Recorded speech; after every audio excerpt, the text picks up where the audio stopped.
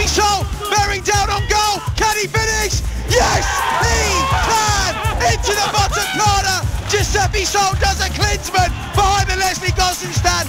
Here at Kingfield, he's equalled the club record of scoring in eight consecutive league games.